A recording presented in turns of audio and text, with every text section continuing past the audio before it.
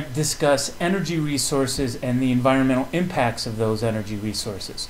I often like to subhead this topic uh, looking at the true cost of fossil fuels. Now, what I'm going to do is I'm going to break this into two sections. So, the first half of this discussion, today's talk, we're going to be looking at the most widely used uh, energy resource, which is fossil fuels.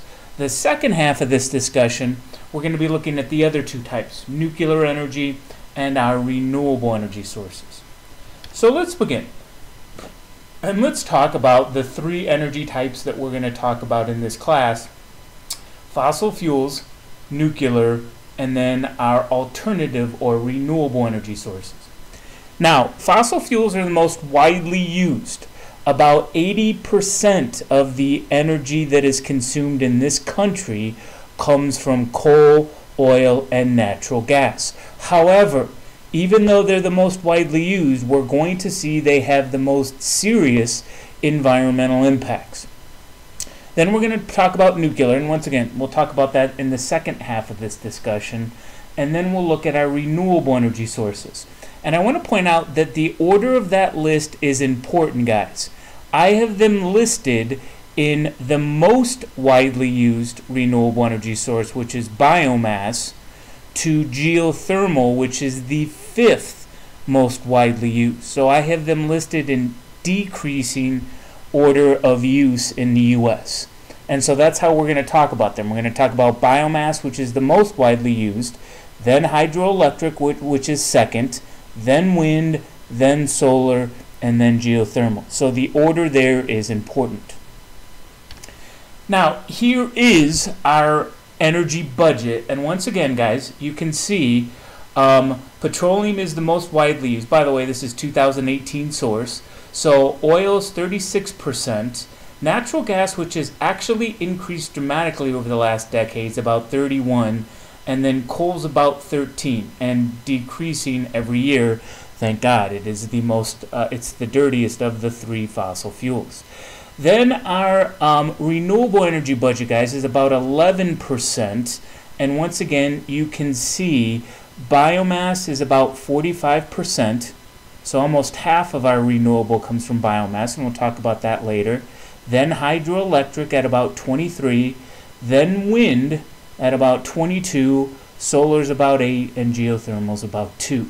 The other 8% of our energy budget comes from nuclear energy. So these two right here, guys, that 19%, that's going to be the second half of our discussion. This first half, we're going to look at these, our three fossil fuels. And if you look at our energy consum consumption through time, going all the way back once again to industrial revolution, guys, well, you can always see that fossil fuels have always made up a fairly large percentage. The blue being coal, the red being natural gas, and the green being um, oil. Uh, the purple that you see here, that's hydroelectric, which has actually been fairly important from the beginning. Nuclear is the light blue, and then the orange is then all the other renewable energy sources. So we have always been highly dependent on fossil fuels. Remember guys, 2018 source, 80% of our energy came from coal, oil, and natural gas. And so let's begin there. What are fossil fuels? Fossil fuels are hydrocarbons.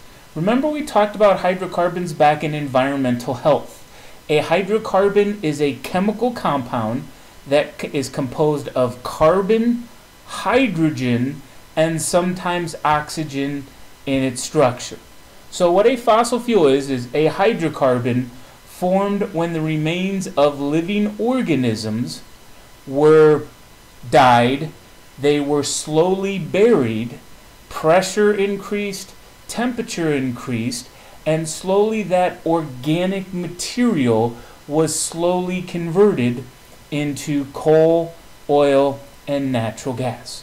So all of our fossil fuels originated as organisms, biological organisms.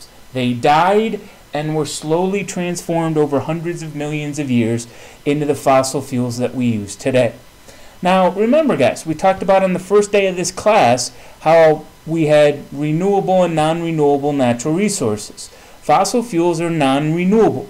Once they're gone, they're gone forever. We can't replenish them because it requires hundreds of millions of years to form. Now let's talk about uh, the original organic material that fossil fuels start off at. And so let's start, start with coal, guys. And I want to point out this picture that I've shown you before. This is from the late Paleozoic, where we had these massive swamps covering all of Pangea as it began to come together. Well, all of that plant material, guys, eventually the, those plants die, are buried with sediment, pressure increases, and temperature increases, and eventually that plant material is converted into coal. So coal starts off as plants and is slowly converted into coal over hundreds of millions of years. Remember the late Paleozoic, guys, the first two periods in it were called the Carboniferous, and the reason we called it is what's the main ingredient of coal? Well, it's carbon, it's a hydrocarbon. Now, oil comes from the marine environment. So coal comes from a terrestrial or land-based environment. Oil comes from a marine environment and it starts off as algae. So picture you have uh, a mat of algae on the ocean surface. That algal material dies, sinks to the bottom of the ocean, is covered with sediment, and once again, pressure increases and temperature increases, and slowly that algae is converted into petroleum or into oil. Now, our last fossil fuel is natural gas. And natural gas is what is known as a thermal byproduct. What that means, guys, is as we cook the plant material and as we cook the algal remains, we are going to produce natural gas as a side product of that reaction. So here's the interesting thing, guys. Um, if we usually have a large deposit of coal, we will probably have some natural gas associated with that deposit. Just like if we have a large deposit of oil, we're going to have a, a large deposit of natural gas associated with it. So natural gas is this thermal byproduct of the cooking of both plant and algal remains, and therefore natural gas will be found, usually associated with coal or oil. Now, the most abundant, the most widely used natural gas, and by the way, whenever they say, oh, you're cooking with natural gas or that bus is running on natural gas, usually it's the natural gas called methane. That is by far the most abundant and widely used, which is CH4. And something that we've also discussed, guys, CH4, is that polyatomic? Yes, it is, which means methane is a, yes, that's right, greenhouse gas. Now, before we get into the, the negatives, and we're going to spend a great deal of time talking about the negatives, guys, let's talk about the positives of fossil fuels. Number one is while there are winners and losers in the fossil fuel game, okay, not everybody has it, guys, but we have fairly abundant sources worldwide of coal, oil, and natural gas. It's efficient. When we burn fossil fuels, we can get fairly high amounts of energy out of it.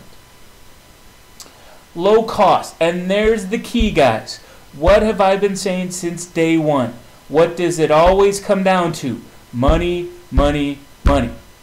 And so that is the biggest advantage of fossil fuels. When you compare fossil fuels with nuclear or renewable, it's often two to three times cheaper than the other two sources. And remember, guys, that's always our first consideration is cost. Uh, we have existing infrastructure. Think about it, guys. Since the Industrial Revolution, way back when we started to make electricity, we made a decision that we were going to um, use fossil fuels. And therefore, all of our infrastructure that we have built since then, pipelines, tankers, refi refineries, have all been built around fossil fuels. If we were to switch to, let's say, wind or solar, it would cost us billions of dollars up front to make that switch in infrastructure. So once again, there's there's economics, guys, playing a large role. And then power plants can be set up anywhere. You can set up a coal-fired power plant anywhere in the middle of nowhere. Okay? Think about it, guys. There are restrictions on where we can build a nuclear power plant or where we can build a solar plant. Okay? Think about it. Let's say we wanted to build a new nuclear power plant and we want to build it and we decided to build it in California right on top of a fault line. Good idea? No way. Okay? Let's say that we wanted to build a solar power plant and we decided to build it in Chicago. Would that be a good idea? No. We need to build it where we have um, a lot of days of sunshine. So there are restrictions on where we can build nuclear power plants, where we can build wind farms, where we can build geothermal power plants. Coal-fired power plant doesn't have that problem. Now, we're going to talk about oil and natural gas first, guys, and here's why I'm breaking it up as I as I am. Think about it. Oil is a liquid and natural gas is a gas. Once these things are created in the subsurface, they're mobile, guys. They're going to move. And so we're going to talk about them together. And so here's what we start with. We start with something called source rocks. The source rocks are the rocks that have, in this case, the algal remains in them. Those are the rocks that we're going to squeeze with higher pressures and cook with higher temperatures to generate the oil and natural gas. So we start with the source rocks. Barium, pressure goes up, temperature goes up, and over hundreds of millions of years, we're going to generate, let's say, a, a pocket of oil and a pocket of natural gas. Now, because those things are mobile gas, because of their state of matter, they will then migrate in the subsurface through something that we call porous reservoir rocks. Now, that word porous means that it has holes in it. So, the rocks in the subsurface have to have holes in it to allow the liquid and gas to move through it. Okay? So, we start with the source rocks we generate the oil and natural gas. They then move through these reservoir rocks. Now, motion will only stop when our oil and natural gas becomes trapped underneath in something called impermeable cap rocks. Now, that word impermeable means that liquids and gases cannot move through it. It acts like a barrier. And we need to have those cap rocks, guys. Without the cap rocks, the oil and natural gas will continue to move. They will continue to be mobile. So that's the process. We cook and squeeze the source rocks. The oil and natural gas move through our reservoir rocks and are trapped underneath our impermeable cap rocks. Now, in order for oil and natural gas to become trapped and then become concentrated, we need the right geologic conditions to exist in the subsurface. These conditions are what are called oil and natural gas traps. And there's four of them that we're going to look at. An anticline trap, a fault trap, a salt dome trap, and a stratigraphic trap.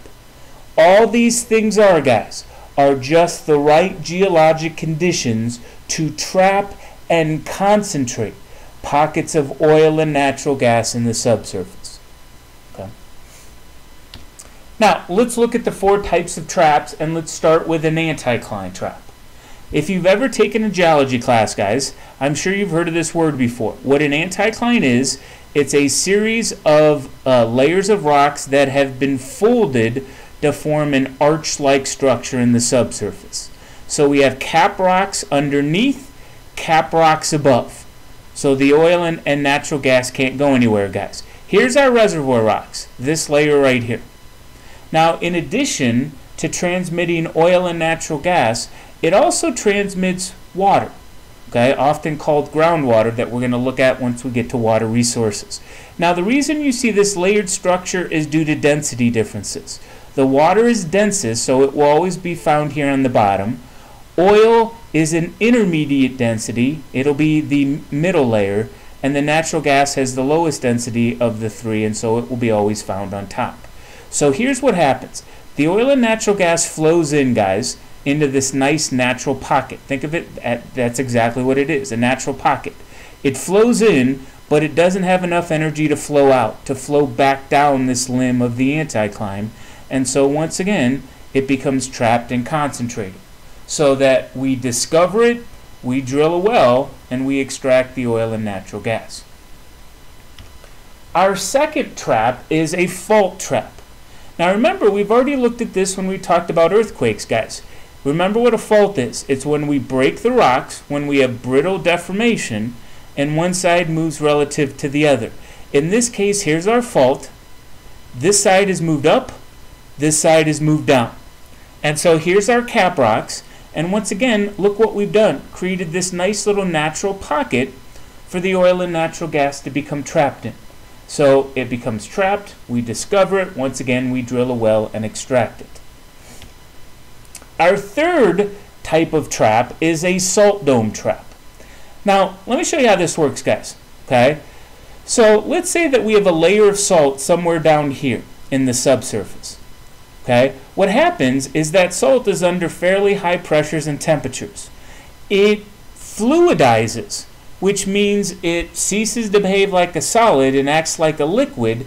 It then pushes its way up because it has a lower density than the rocks around it. And so as it pushes its way up, as it gets close to the earth, it cools down and solidifies again. And so you get this kind of bulbous mass of salt. That's what call, is called the salt dome. Now, as it pushes its way up, guys, look at what it does here. It's cre- it creates these nice little natural pockets, once again, for the oil and natural gas to become trapped in. There are literally thousands of salt domes in the Gulf of Mexico, in Texas, into Oklahoma, which is why those areas uh, tend to have a lot of oil and a lot of natural gas. Our last trap for oil and natural gas is our stratigraphic trap. Now what this is, once again, we have cap rocks above and below here. Here's our reservoir rock. And as it go as we go laterally, it gets thinner and thinner and thinner until eventually it peters out. Okay, disappears. And so once again, guys, look what we've done. We've created this nice little natural pocket for the oil and natural gas to become trapped under. So, once again, the four traps that we just looked at are anticline trap, our fault trap, our salt dome trap, and our stratigraphic traps, these are just the right geologic conditions that need to exist if we want to trap and concentrate oil and natural gas in the subsurface. Okay. Now we don't have this problem with coal, guys, because once coal forms, is it going anywhere? No, it's a solid. So the reason we need these traps is because oil, a liquid, and natural gas, a gas, is mobile in the subsurface. Now, before we go any further, we need to discuss the difference between a resource and a reserve. Okay? The title of this talk was Energy Resources. What a resource is, it's everything. Every single ounce of coal on earth are our coal resources. Every drop of oil on earth are our oil resources. They include everything that is known and everything that is yet to be discovered. So, known and unknown. Everything that is economical to extract by today's standards and everything that is not yet economical. Now, once again, we have to talk about economics here, guys. Let's say that we own a, a, a drilling company and we're drilling for oil. Do we just, once we discover an oil deposit, do we willy nilly start drilling? Of course we don't, guys. We have to take into account the size of the oil, what we can sell that oil for, and how much money it's going to cost us to get the oil out of the ground. Let's say we do that calculation, guys, and we discover that we would lose money by extracting the oil. Are we going to do it? Of course we're not, guys. That's what we mean by economical. So there are some deposits we know about today, but it simply isn't economical to get the oil out of the ground because the price of oil is fairly cheap right now. Last time I checked, it was like 55, 50, 55 dollars for a barrel. So at those costs, not worth it. Okay? So resource is everything. What we know about and what we don't know about. What's economical to extract today and what's not yet economical. Now here's the thing, guys. And I always ask my kids the following question. Do we care about oil that we haven't found yet? Or do we care about oil that we're going to lose money getting out of the ground? No, we don't, ladies and gentlemen. So really what we are concerned with are something called reserves. A known quantity of a resource that can be extracted economically by today's standards. So if you look at this diagram over here, guys, think of this big box as all the fossil fuels on Earth. Everything that we know about, everything that we don't know about, everything that's economical, and everything that isn't economical.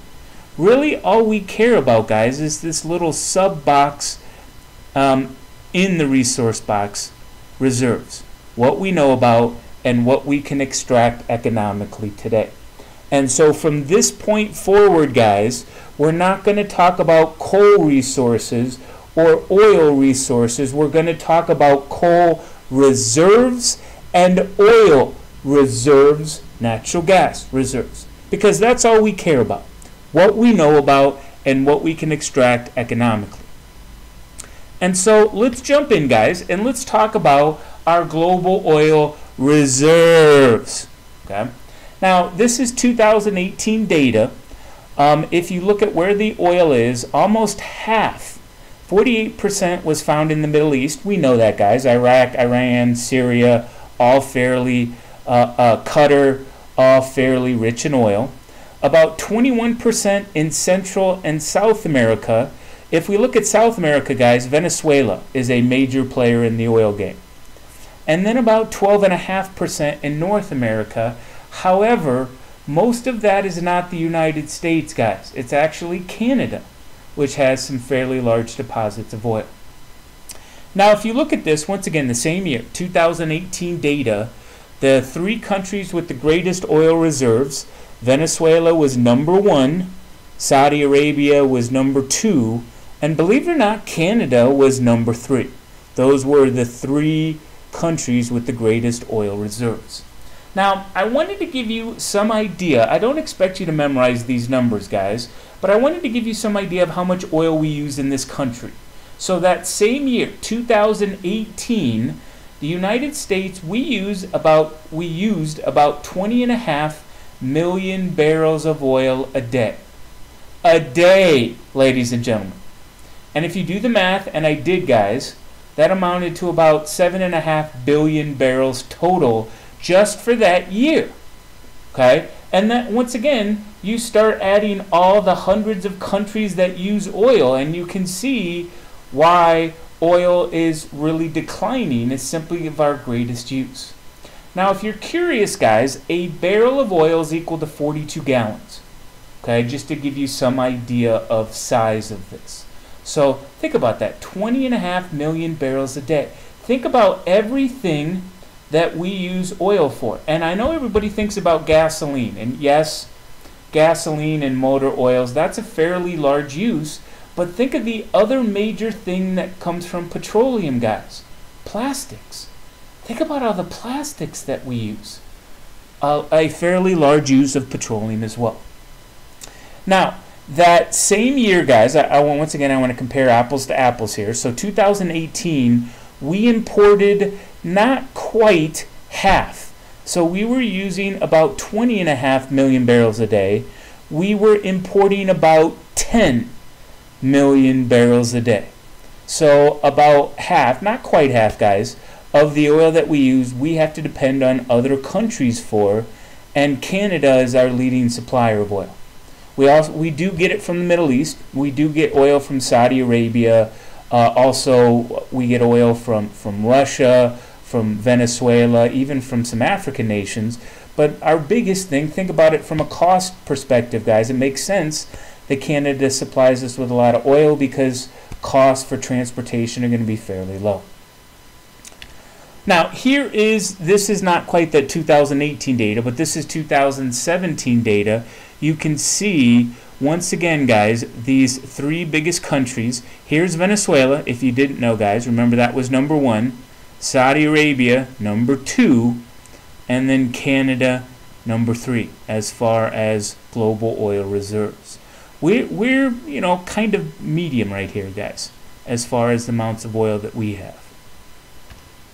Uh, let's talk about natural gas. Um, this is 2017 data, but if you look at the, the four biggest countries that had the most natural gas, Russia was number one, Iran was number two. Now, I've heard it pronounced Qatar, I've also heard it pronounced Qatar. I, I think both are correct, guys. Number three, I, I say Qatar, so that's what I'm talking about. And then it's actually a tie between us and Saudi Arabia as far as natural gas. So these are really the big players as far as natural gas goes. Now, here's the interesting thing about natural gas. Mostly your global reserves are set.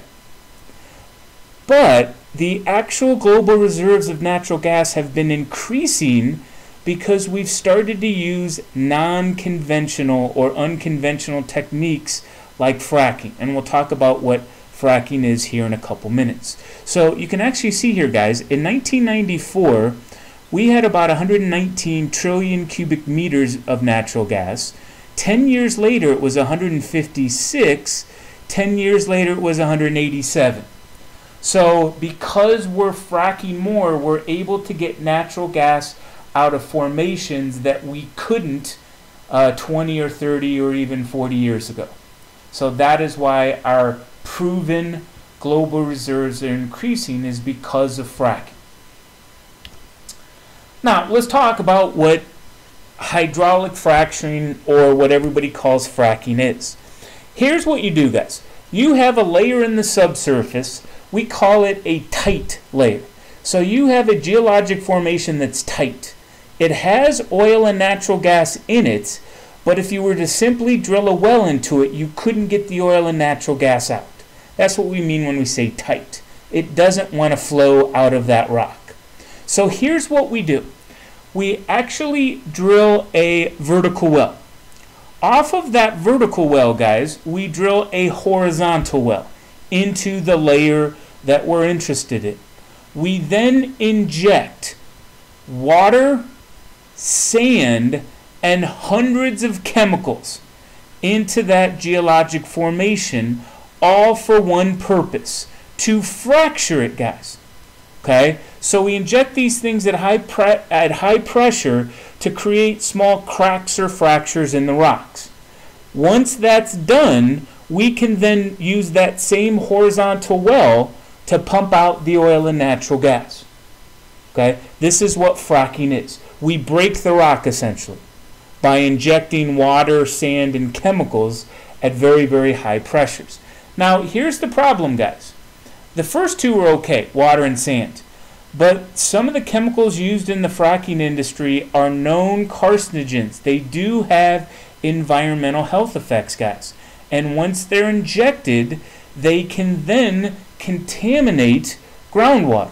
And that's one of the biggest, most serious consequences of fracking, guys. Is first off, once you break the rock, those hydrocarbons yes, we want to extract them, but they can um, flow into different layers. And let's say that we were pumping out water to use as a potable water source. Now we've just contaminated um, our groundwater. They can also um, migrate to the surface where they can volatilize and become air contaminants. And so, once again, guys, we talked about this when we were talking about health uh, most hydrocarbons are known carcinogens.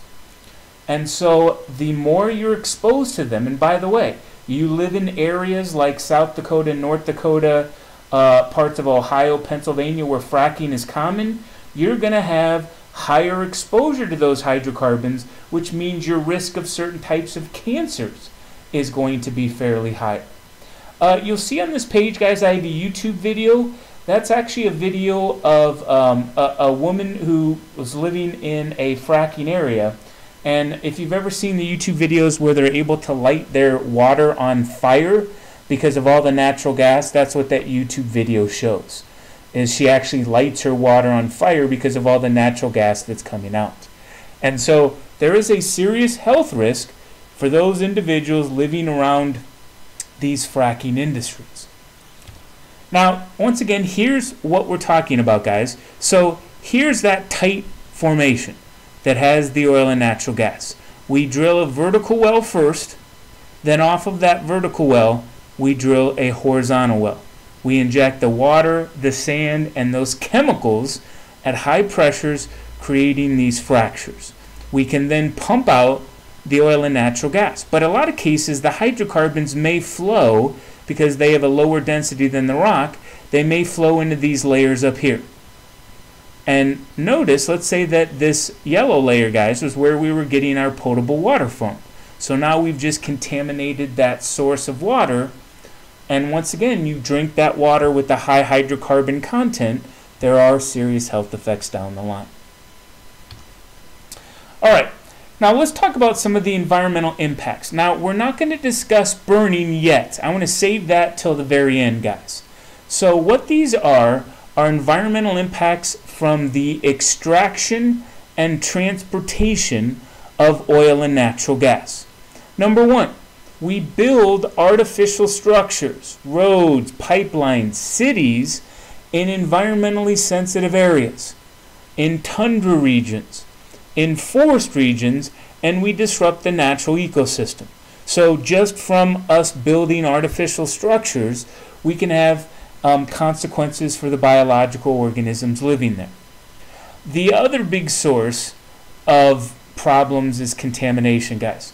Take a look at the, the top picture on the right shows a pipeline in Alaska that has sprung a leak, and you can see that plume of oil uh, spraying out which is then going to contaminate the trees, the soil, any nearby um, surface water bodies, even it's going to infiltrate down and contaminate groundwater resources. Um, tanker platform spills. Most of you are too young to remember the 1989 Exxon Valdez spill. This is when, swear to God, look this up, guys, I'm not lying. This is when a tanker captain, the tanker captain of the Valdez, decided to get stinking drunk on wild turkey. And he thought that after drinking an entire fifth of wild turkey, it would be a good idea to drive his tanker that was loaded with oil. Um, you can probably guess the results, guys. He ran into some rocks off of the southern coast of Alaska and spilled about 11 million gallons.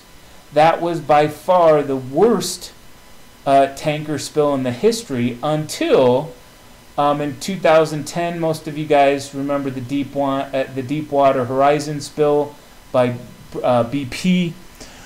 Uh, what happened was um, a release valve that was supposed to release the pressure from drilling. Uh, it was sealed shut, and what happened? The pressure built and built and built until you had an explosion on that rig. And I remember that entire summer, guys. You could actually turn to CNN and watched the oil gushing into the Gulf of Mexico. It took them about three months because of the uh, depth of that um, where they were drilling. It took them about three months to plug the hole. By the time they had finally plugged it, they had released about 170 million gallons of oil. So that hopefully we won't have anything that tops that. But here's the evil genius of what BP did they knew that they were they were looked at as as you know evil corporate stooges.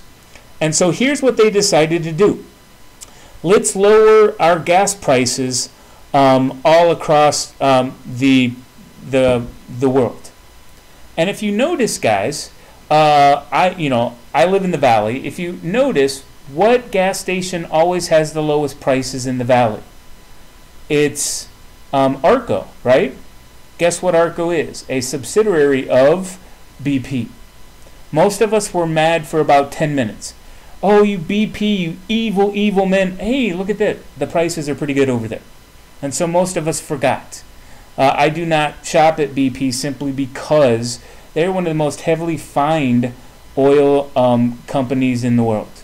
They tend not to take safety precaution uh, measures or proper safety precaution measures, um, and so that was the result of that spill. Yes, it, it cost them billions of dollars for the cleanup. They also, if you remember that the summer afterwards, they, they had a lot of ads on the TV where the, the governor of Alabama would say, Come on back down to Alabama, we're oil free. They paid for all of that as well. But do you really think it slowed them down in the long run? It didn't, guys. All right, let's move on to coal now. And once again, the reason we talked about oil and natural gas together is because remember, they were mobile in the subsurface. Coal is not. So, coal is when we take that plant material and we slowly convert it into something called peat. Peat is this kind of partially decayed plant material. So coal actually goes through a process, guys. Plants to peat over hundreds of millions of years, and if the peat, if we continue to jack up pressure and temperature, will eventually turn into, into coal. So peat is not coal, guys. It's often called the precursor to coal, but it's this kind of intermediate member.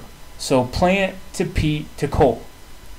Now, not all coal is the same. We actually have what are called coal ranks based on how much energy we can get out of it. The lowest rank of coal is called lignite. The intermediate rank, we can get more energy out of the intermediate, is bituminous. And the highest energy rank is called anthracite. We'd love to burn anthracite because we'll get the most energy out, but it's fairly rare because it takes incredibly high pressures and temperatures to form. Now, all of the fossil fuels are highly um, polluting, very, very dirty, but coal is the worst of the worst. So, coal is dirtier than oil, coal is dirtier than, than um, natural gas. It's so bad, we give it the nickname Mother Nature's junk basket. So, anything that Mother Nature doesn't want, it puts in the coal. And once we burn that coal, we then release often those toxic substances to the environment. So, the fact we should be trying to kill our coal industry, ladies and gentlemen. The good news is coal use has decreased dramatically over, say, the last 10 years, but that needs to go down to zero. Very, very dirty, dirty source. Now, if we look at global coal reserves, once again, 2018 data here, guys, we have the most coal reserves. Woohoo! Okay, not a lot of oil. Uh, we we were fourth on natural gas, but we have fairly large coal deposits. Russia's number two, and China is the other big player as far as the coal game. Now let's look at the coal ranks. But I want to start with peat, but I want to make this absolutely clear, so I'm going to say it twice. Peat is not coal. Peat is not coal, but I still wanted to talk about it. It's once again called the precursor to coal. It's this partially decayed vegetation material. If you look at this top picture here, guys, you notice this kind of dark brown to blackish layer right here? That's peat. That's this undecayed plant material. If we take that peat, we bury it, subject it to more pressure and temperature, then, over hundreds of millions of years, we can slowly convert it into coal. But it, but peat is not coal, guys. Precursor to coal. It's this intermediate member.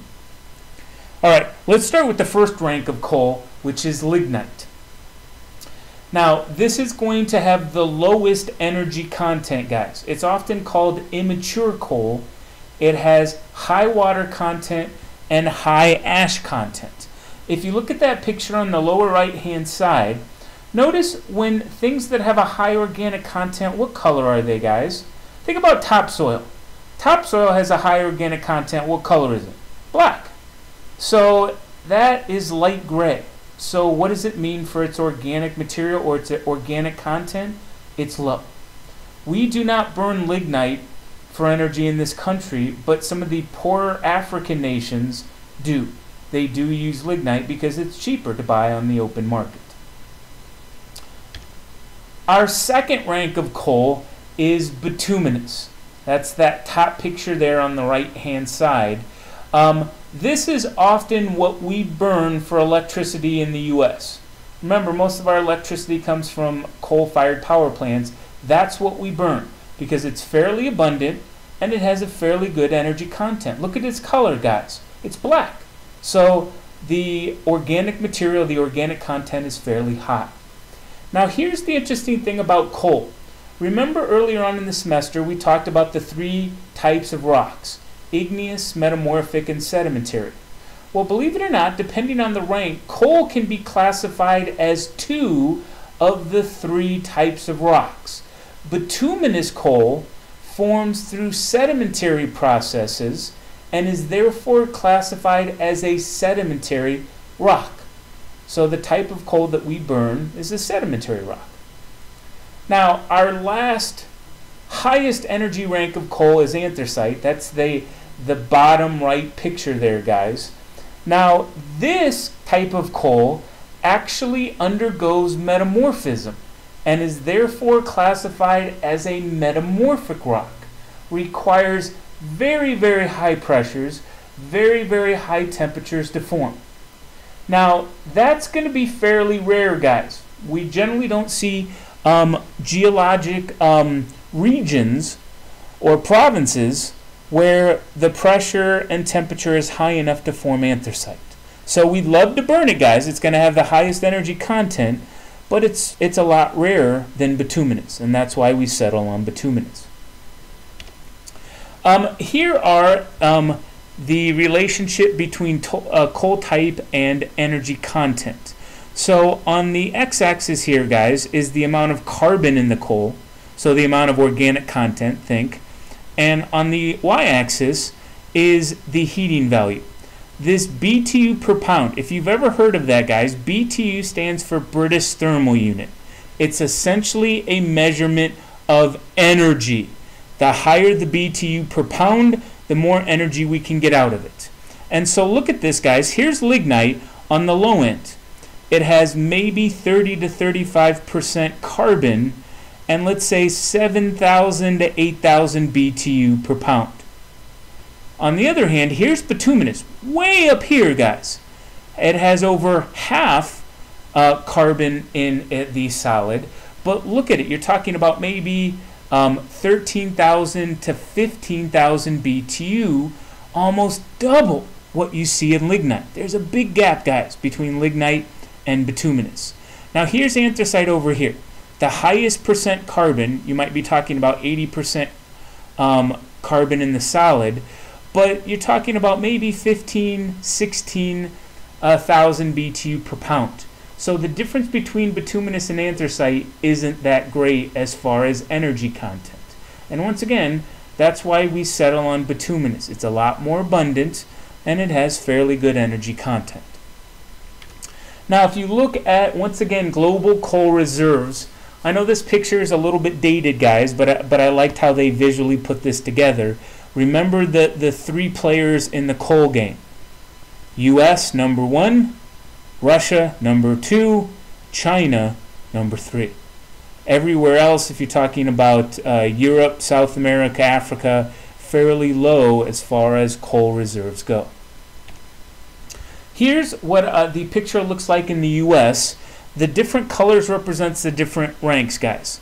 Okay, so the green is actually not a rank at all. That's uh, I'm sorry. The green is the lowest rank. That's lignite. So that's that that low energy. We don't burn it but we do mine lignite to sell to other countries on the open market. The blue, orange, and tan are different types of bituminous. So you'll notice this western interior basin that stretches from Oklahoma into Iowa, the Illinois basin, and the Appalachian basin, those are major coal producing states. If you look at states in the U.S., guys, Illinois, um, Pennsylvania, West Virginia, these are kind of our, even in Kentucky, these are major coal producing states. You, you, you do see some coal in the Rockies, but it's scattered, it's not as continuous, and it's harder to, to um, extract. So generally, most of our coal production is in the upper Midwest or even in parts of the eastern U.S. These small uh, red blurbs, that's our anthracite, guys. Very, very rare to find because it requires such high pressures and temperatures. Now, when it comes to coal, we have two methods to extract it. Surface mining, called strip mining, and underground mining. Now, we do not determine which method we use. Where the coal is located will determine which technique is used. So if the coal is fairly close to the Earth's surface, we'll use a strip mine to get it. Now, here's the good news. Surface mining is all positives you can recover 90 to 95% of the coal. And remember, the more coal you recover, the more money you're going to make. It's much cheaper to extract the coal and it's relatively safe. So we would love to use surface mining techniques because it's all positives. The problem is, is let's say that we have a major coal deposit that's a mile and a half below ground surface. Is it going to make economic sense to drill a mile and a half worth of rock, remove all that rock to get at the coal? No. And so then we would have to use underground techniques. Now, surface mining was all positives, underground mining is all negatives, guys. You can recover 40 to 50% of the coal, and let me be honest here, guys, it's probably closer to 40. Because you have to leave the other half in place because it's holding up thousands of feet of rock on top of you. So I say 40 to 50%. Recovery is probably closer to 40. You might be lucky if you get 40% out. So the coal deposit has to be large enough where 40% is going to be economical. It's much more expensive, requires um, more um, equipment. You have to drill air shafts, you have to drill elevator shafts, uh, and underground miners make more because they put their lives on the line every day so it's much more expensive and it's extremely dangerous. You always have to worry about collapse and then explosions. Remember, we said natural gas was a thermal byproduct. So often in a coal mine, you'll get pockets of natural gas like methane. And there have been times in the, in the past where a spark has caused an explosion, which caused a collapse in the mine. Often you'll hear at least a couple times a year, guys, of a West Virginia coal mine I can remember, I can't remember the year, but the Chilean miners, remember they had a collapse of their mine. Uh, most of them were saved, and then they actually kind of got famous uh, and kind of went on this uh, book signing or, or kind of interview tour. So, underground mining, very, very dangerous. But once again, if the coal um, reserve, if the coal um, deposit is large enough where 40% means we can make money, we'll do it. Now here's our, our surface mining or strip mining techniques. Um, fairly easy, guys. If, if, if the coal is fairly close to the earth's surface, we remove all of the, the, the rock on top of it. That's called waste, okay? Often called um, um, overburden. That's all the rock or the waste that's on top. So we remove that, we get down to the coal bed, and then we can remove the coal at our leisure. And once again, good recovery, 90 to 95% recovery. You can see over here in this picture, guys, uh, take a look at the sidewall. They've actually removed several very, very thin layers. They're removing the gray rock, which is this overburden, and you can see they've under, uncovered another seam of coal underneath. Now, these strip mines can be incredibly huge. This is a picture taken of a West Virginia coal mine just to give you an idea of size, guys, if you take a look at this truck here in the foreground, I would come up, and I'm about 6'1", I would come up halfway to these tires. Okay, so I, my head would go somewhere here, let you know how large it is. This strip mine is probably a half mile to a, a three quarters of a mile deep. And you can't even see the other other side of the mine. You might be talking about uh, a mile, maybe even a couple miles in diameter. These things can be incredibly huge. And once again, remember we use strip mines.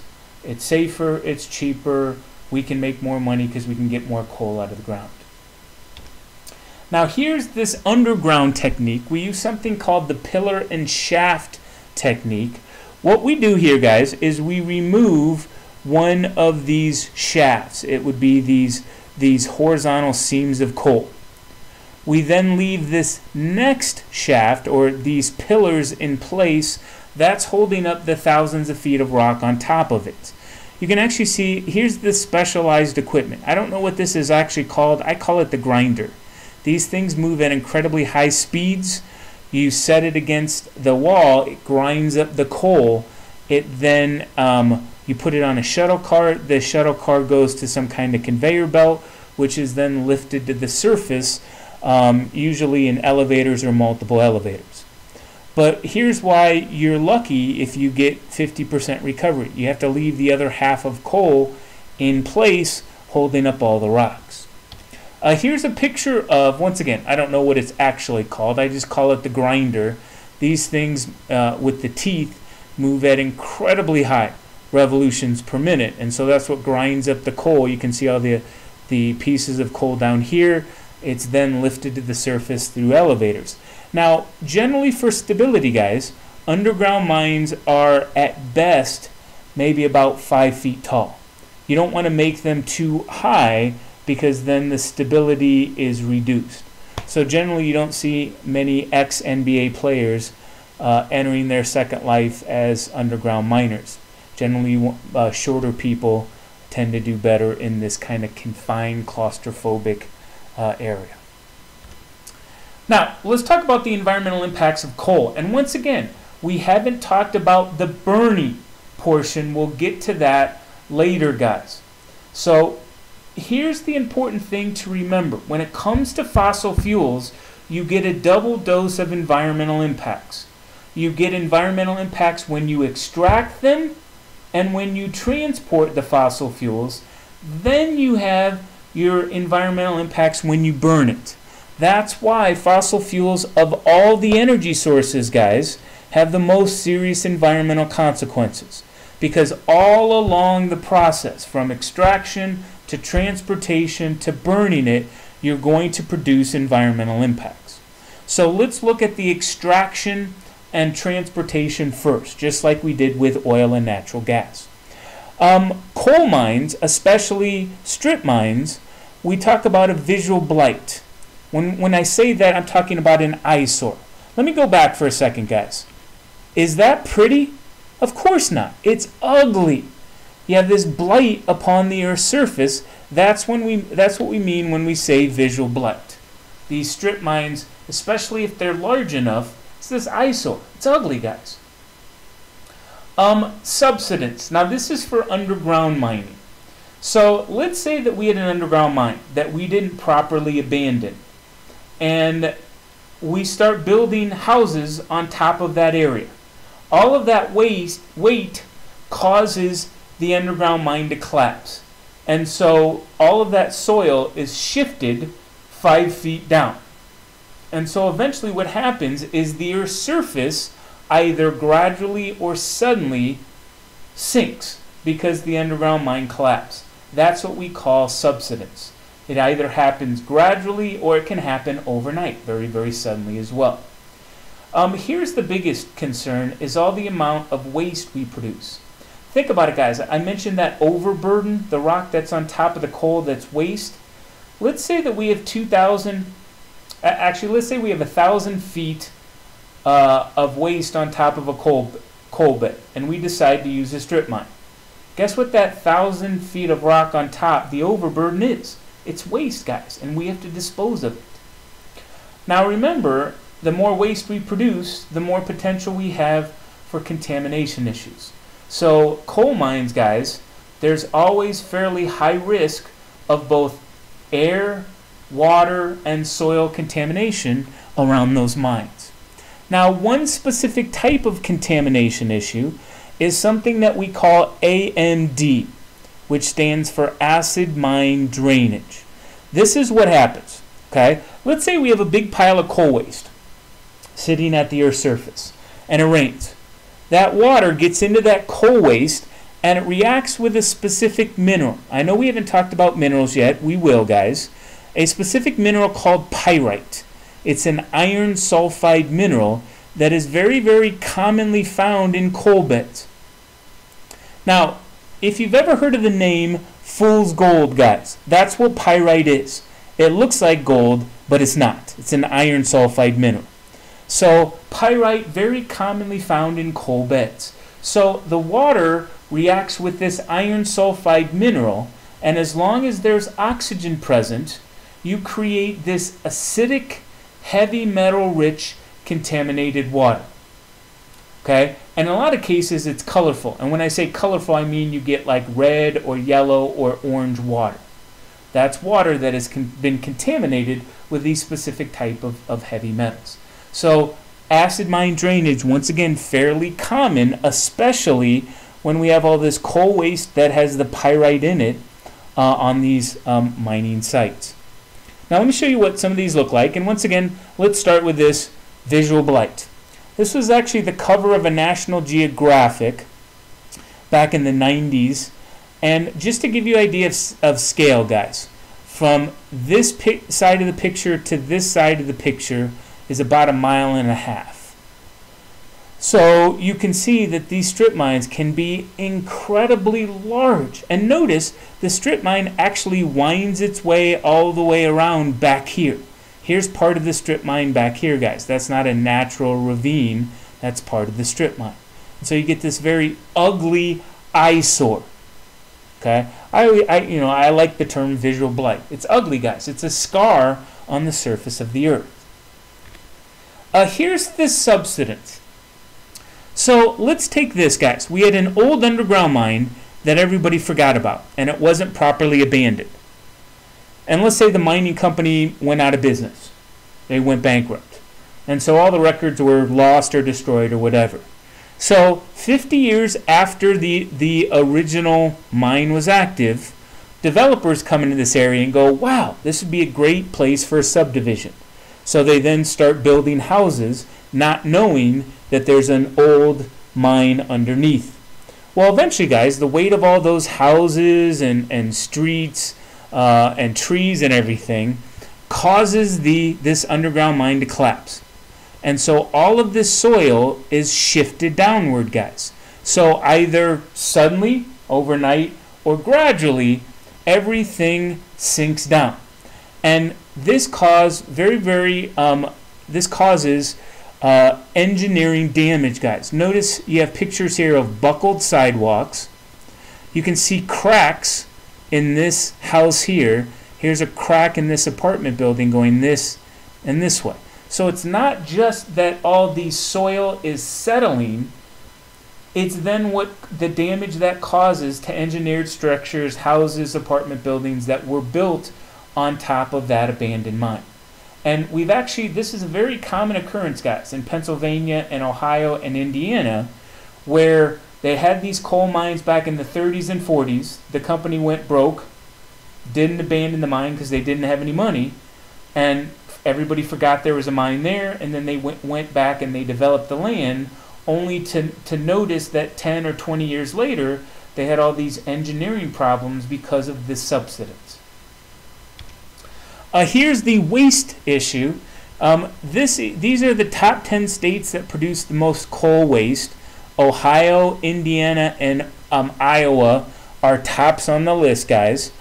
What this was, this was an EPA study done back in 2007 that looked at um, coal waste sites and what sites had water contamination issues.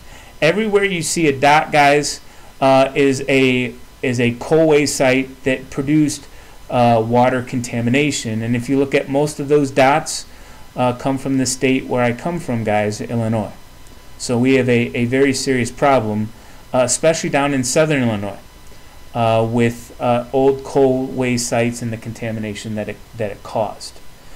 Here is this AMD, guys. These are pictures of this um, acid mine drainage. So once again, you need pyrite, you need water and free oxygen.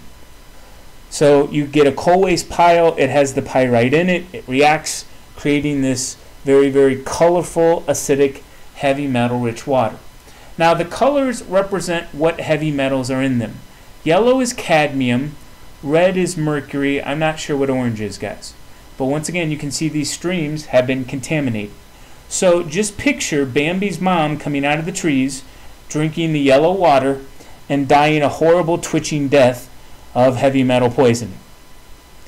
Very, very serious problem, especially in these areas of um, these strip mines.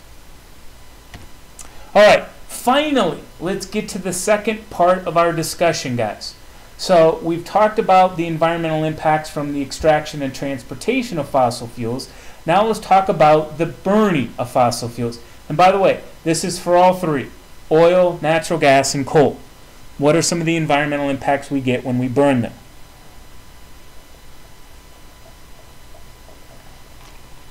Now, remember earlier I said that from a chemical standpoint, whenever you burn something, you're essentially adding oxygen. That's what burning is, guys, from a chemical standpoint.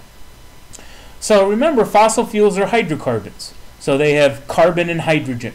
When you add oxygen to that, guys, I hope um, you will realize that the, the most abundant gas that you're going to produce is CO2, is carbon dioxide gas, which is why, remember, it's the most abundant artificial greenhouse gas produced often when we burn fossil fuels.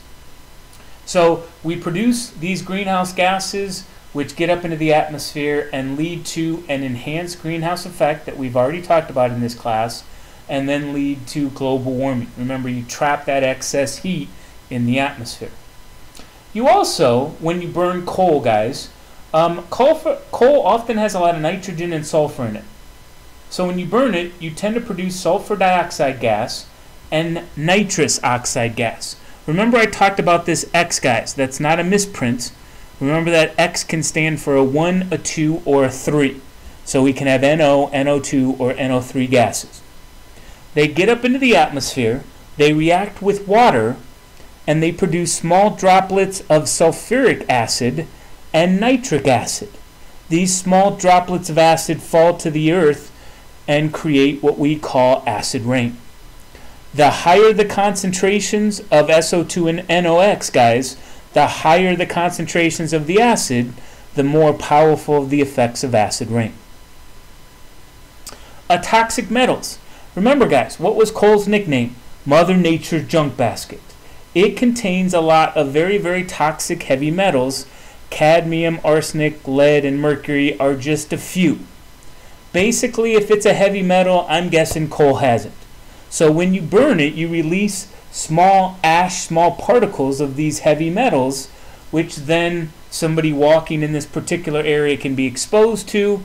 And we've talked about heavy metals, guys. Remember, our bodies can't metabolize them, so they build up and build up and build up until they reach levels where we're talking about heavy metal poison.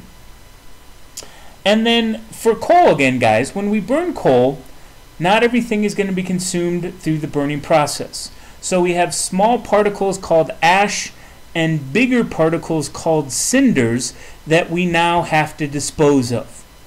So now we've created more waste that we have to properly dispose of. Now let's take a look at some of these issues. And first, uh, once again, CO2 emissions, guys. We talked about this, how China was number one.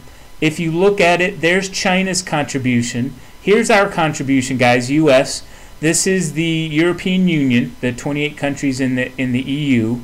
Then we have India, the other European, um, South America, Middle East, Asia, and Pacific, and then Africa. It's really, guys, notice how more than I would say more than half, maybe even like 60% of all the CO2 emissions comes from China, the U.S., and the European Union, the post-industrial world, guys. Now remember, all that CO2 gets up, gets up into the atmosphere, and it creates this enhanced greenhouse effect, which means we trap that, that IR, that infrared radiation. We don't allow it to escape into space. We re-radiate it down, back down to the planet's surface, and it creates this overall increase in temperatures that we call global warming.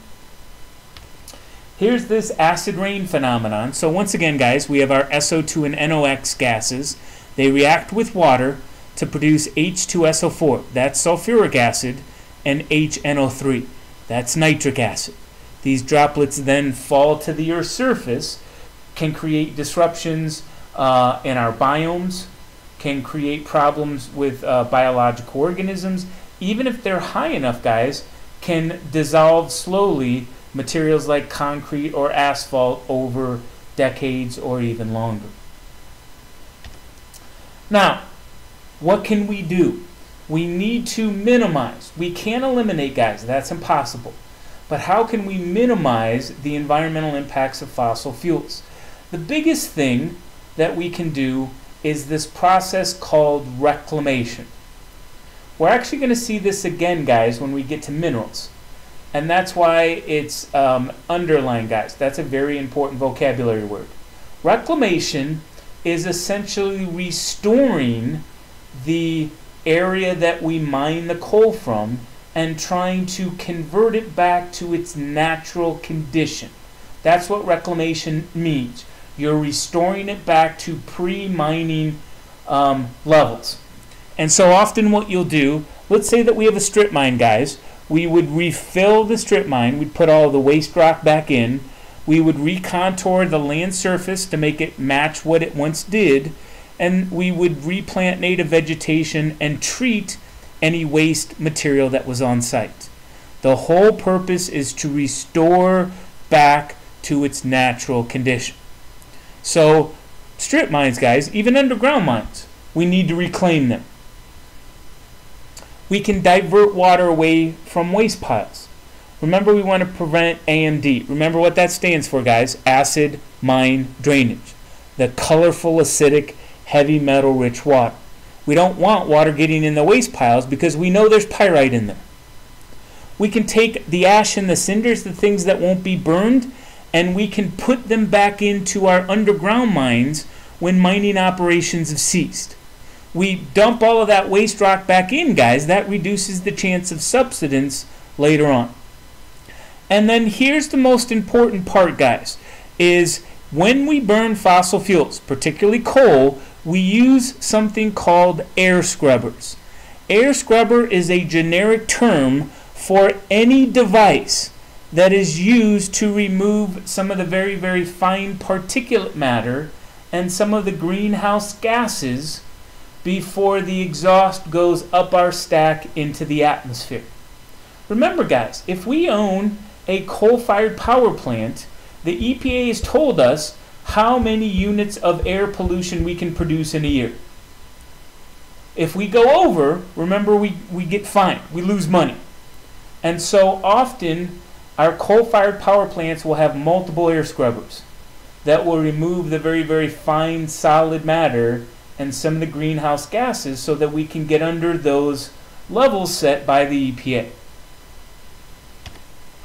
Now, I wanted to share with you a couple of these reclamation projects, guys, to show you what they look like. So think of these as um, plastic surgery photos, the before and after pictures. So on the left there, you have a, a fairly small um, coal mining site in, the, in, in, in Indiana. You can actually see the piles of waste off to the left there, guys. Those black piles, that's not like um, nutrient rich soil, that's waste. They went in, they reclaimed that old mine, and the picture on the right is what it looks like today. They actually converted it into a municipal park. Now, in order to do this, guys, you would want to make sure that you had zero lingering traces of contamination. Because we know kids put things in their mouth that they shouldn't. And so if you want to turn a coal mine into a park used by kids, you would want to make sure no traces of contamination were left over. But but think about it, guys. Once again, remember the purpose of reclamation: to restore the land to its pre-mining conditions, to restore it to its natural condition. Did it fairly well in this one. Um, this other one is perhaps the most, um, probably the largest reclamation project that I've ever come across. Once again, uh, the before picture on is on the left, guys. This was a uh, fairly large mine in western Kentucky, what it looked like in February of 98. And I want you to look at the water. Look at the color of the water. We know we have AMD, don't we, guys? The, the water is kind of a reddish brown. We know we have heavy metal contamination there. They went in, it took them about a year and a half and about, uh, I think, about $2 billion was the cost of this. Reclamation projects, especially if you have contamination, can be very, very costly, guys. But they went in, they reclaimed it. Notice the picture on the right is what it looks like today. Answer me this, guys. If you look at that after picture, could you tell that there was a strip mine there to begin with? No. That's the purpose of reclamation, guys. Restore the land to its natural condition. Now, there's a couple last things that we want to talk about when talking about fossil fuels, and these are what are called alternative fossil fuels. Okay? They're not your conventional oil or natural gas or coal. And there's two types. We have oil shales and tar sands. Now, let's talk about oil shales first. What a shale is, guys, it's a specific type of sedimentary rock often deposited in oceanic environments. So you'll get shale deposition in oceans. So fairly common because we know oceans cover 70% of the Earth's surface. What an oil shale is, is a shale that has high levels of something called kerogen. What kerogen is, it's a mixture of hydrocarbons from which we can extract liquid hydrocarbons. Now, essentially, guys, we take this solid rock, we grind it, and we process it to create a petroleum like substitute. It's not true petroleum, guys. It's not true oil. It's a stand in, a substitute for true petroleum. Now, we also have tar sands. A tar sand is where we have deposits of sand that contain a very dense and viscous form of petroleum called bitumen. Okay, so think of tar sands, think of tarry sands sands that are covered with very, very, very viscous type of um, tar. Now, for those of you that do not know, viscosity is the resistance of a fluid to flow, flow at normal temperatures. So if you have a high viscosity, you don't want to flow. Think of some common things that have a high viscosity that we use on an everyday basis, guys. Syrup, molasses, honey, all very, very viscous forms. So the problem with tar sands is you can't drill a well into the sands and extract the, the petroleum because it, it's viscous. It, it clings to the sand grains. And so what you'll have to do is you'll have to process both the sand and the bitumen, separate them. Now here's the big thing with all these alternative fossil fuels, guys. Both kerogen and bitumen require more processing than crude oil.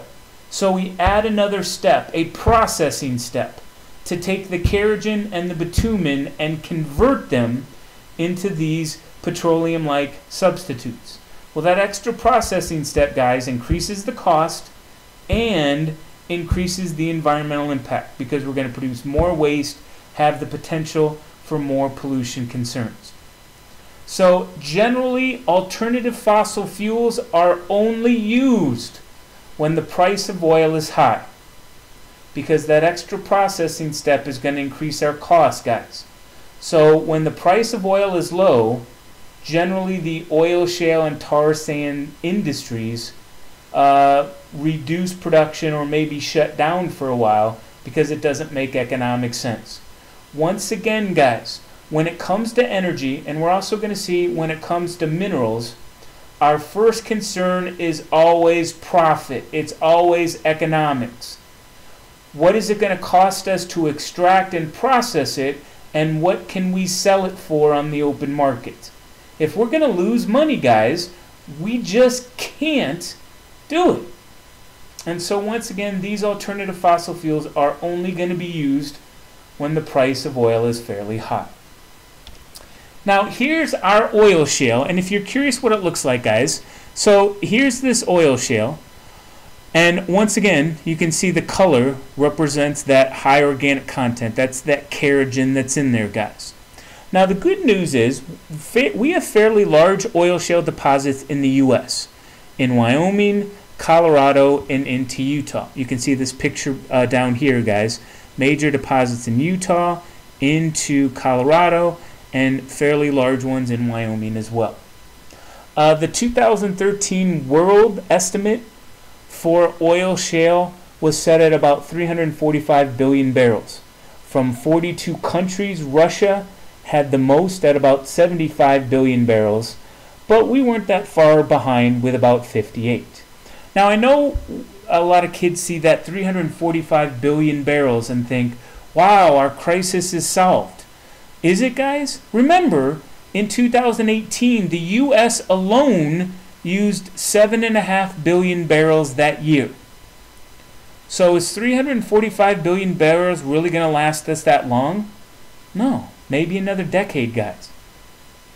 the problem is, is we know we've actually estimated the reserves. And if you look at oil, guys, uh, the latest estimates that I've seen is we have about uh, 40 years left of, of oil reserves left.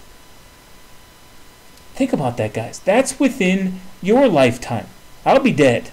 That, 80, that'll put me at 87, guys. I'm not going to be alive for that. But that's within your lifetime that we are pre- predicted to run out of oil. Kind of scary, guys. Um, here's these tar sands, and I wanted to point out Canada because Canada actually has large deposits of these tar sands. Uh, you can also call them oil sands. I call them tar sands, guys. Same thing.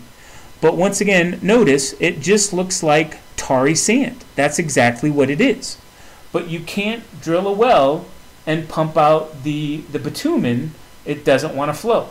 So you have to extract both. You separate the sand grains, usually with using steam. The sand is then waste, and then you have that bitumen which you can then process. Remember the extra processing step, guys, to get that petroleum-like uh, substitute. But once again, uh, oil, shales, and tar sands are not going to be widely used when the price of oil is low. It doesn't make economic sense. And remember, our first consideration when it comes to energy resources, or, or in our case, energy reserves, is what's it going to cost us? What can we extract it? And what can we sell it for? Uh, this is the end of our fossil fuel discussion, guys. Um, the second half of this, we'll look at nuclear and our renewable energy sources.